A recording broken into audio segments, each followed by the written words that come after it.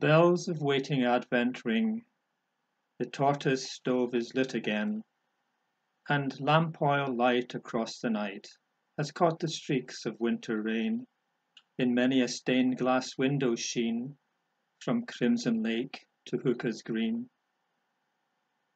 The holly in the windy hedge, And round the manor house the yew, Will soon be stripped to deck the ledge, The altar, font, and arch and pew, So that the villagers can say The church looks nice on Christmas Day.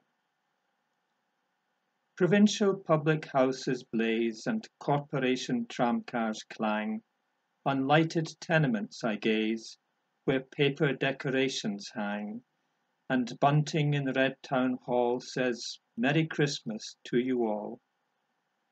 And London shops on Christmas Eve Are strung with silver bells and flowers, As hurrying clerks the city leave To pigeon haunted classic towers, And marbled clouds go scudding by The many steepled London sky.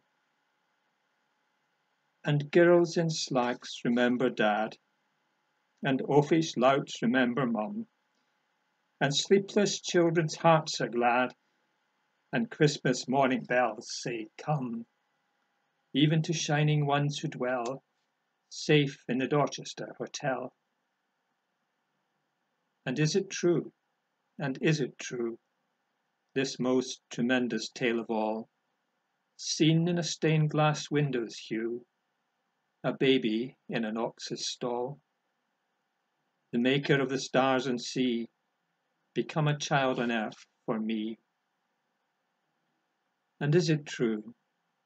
For if it is, no loving fingers tying strings Around those tissued fripperies, The sweet and silly Christmas things, Bath salts and inexpensive scent, And hideous ties so kindly meant. No love that in a family dwells, No carolling in frosty air, Nor all the steeple shaking bells, Can with this single truth compare that God was man in Palestine, and lives today in bread and wine.